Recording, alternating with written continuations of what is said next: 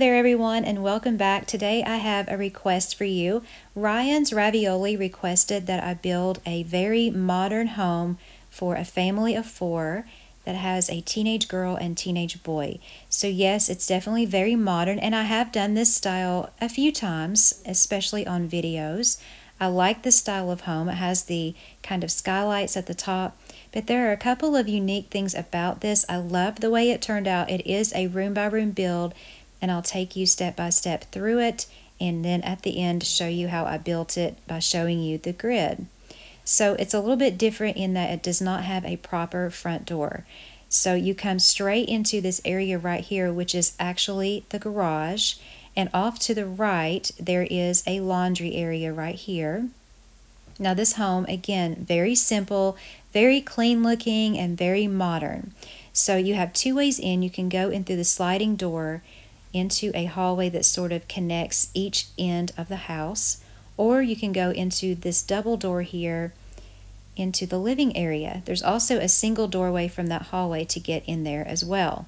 So the living area, you could definitely redo this build so easily. The furniture, some of it's new, some of it's old throughout the house, but you could take whatever's in your inventory and recreate this house very easily if you wanted to do a more modern style. So as you can see here, we just have the basics. We have the couch, coffee table, fireplace, TV, and a plant. Then coming through the hallway here, we have the kitchen. I really like how the layout of this kitchen turned out.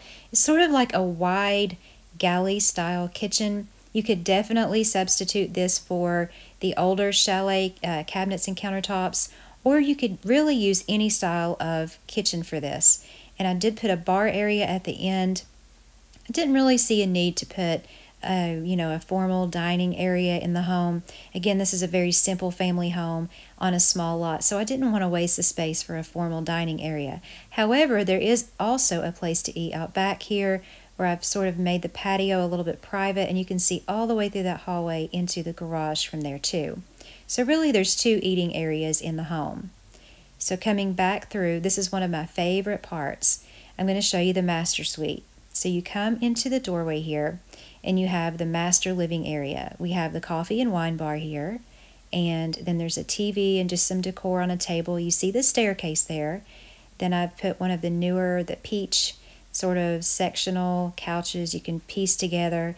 I think it looks really pretty with that color of blue, and the lamps have both colors in it, and I thought they looked gorgeous in there. So that is the living area of the master suite, and then we have the bathroom. So again, you can substitute. I also liked the villa. I had the villa bathroom items in here, and that looked really pretty. But where I was using that blue color already, I decided to change it out for these.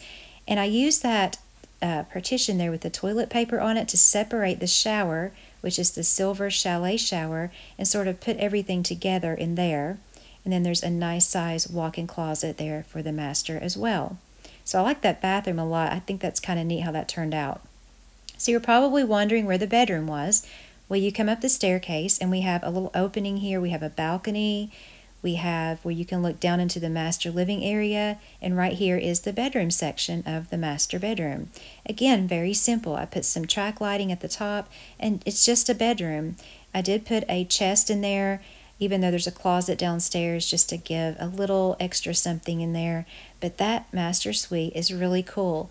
You could do the same layout and do it traditional or however you wanted to do it, but I really love this two-story master suite.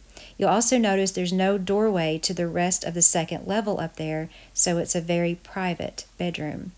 So coming up the main staircase here, that's just what it is, just a landing there with a light fixture. And you come over here to the teenage boys room where I've used one of the new beds and a couple of the new items in here you know, it's new. I'm still loving it, so I'm wanting to try it in different styles of houses, of course.